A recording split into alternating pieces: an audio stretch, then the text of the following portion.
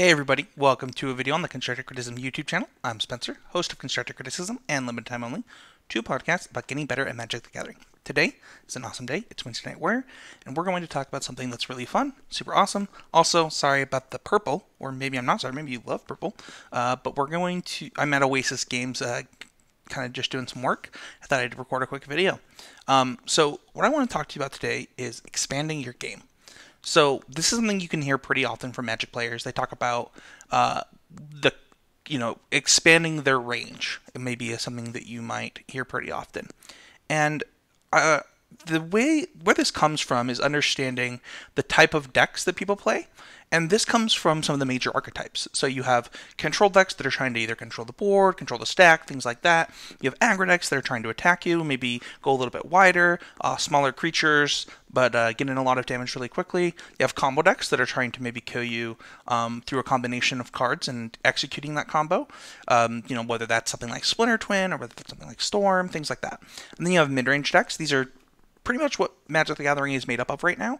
So mid-range decks are uh, typically, you know, some uh, efficient creatures, efficient card draw, built on efficiency, um, trying to own the mid part of the game, and then close out the game quickly once you start to own that game. Um, slightly smaller than a control deck, but kind of can play either side of the field. And uh, that's kind of where people see these major archetypes. So, like, the, these are the types of decks that people are talking about when they want to expand their range. They want to become a better control player. They want to become a better aggro player. They want to become a better combo player, things like that. And so I think that the main part about this is understanding what your skill set currently is. What are you good at? Why are you good at it? Um, and then kind of breaking down where can you improve, right? Maybe you need to improve at playing an aggro deck. Maybe you need to improve at playing control. And when you expand those skill sets and understand the parts of the game that make you good at doing these things, right? It's not that you are a good control player, but why are you a good control player? And from there, you can understand, like, okay, so this is why I'm good at control, and then decide what makes me bad at aggro, and then expand your skill sets from there. This is important because it, part of it is beating your own bias. So, oftentimes in Magic, you'll hear people talk about how they think X is bad. Ramp decks are bad. Control decks are bad. Aggro decks are bad. White Weenie is bad. And it's just a blatant statement about all of these specific type of deck. And it's not really true.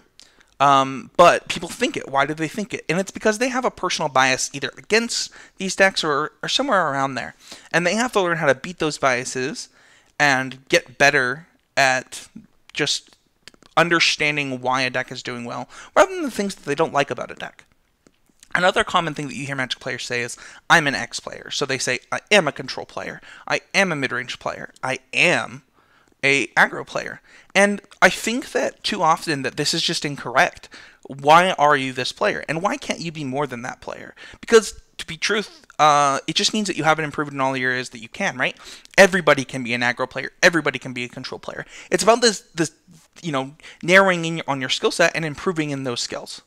And I think that the benefits of this are pretty obvious. First of all, you have a better opportunity of being able to, you know, competently pilot one of the best decks. So if there's five really good decks, if the more that you've expanded your game, the more of a chance that you can confidently say, well, I think I could play this deck, get in some practice with it, and easily execute with that deck.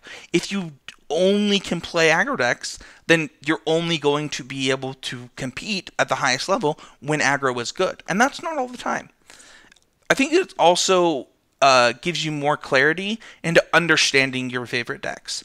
So having a large skill set and understanding more parts of the game make it easier for you to understand what your favorite deck is supposed to be doing against those decks because you can inherently understand what those decks are trying to do and this is really important and really powerful uh, if you don't understand it it makes it a lot harder because you have to really jam and jam and jam whereas if you take this other approach where you're expanding your game all the time you don't have to do that as much. So, but that's it for this week. Uh, please leave a comment. Let me know what you think. What have you done to expand your game? Don't forget to check out the sponsor of this video uh, on puremtgo.com and their sponsor at MTG Traders. Um, you can also support this content directly by going to uh, Easy Game Media on Patreon or patreon.com/ccmtg.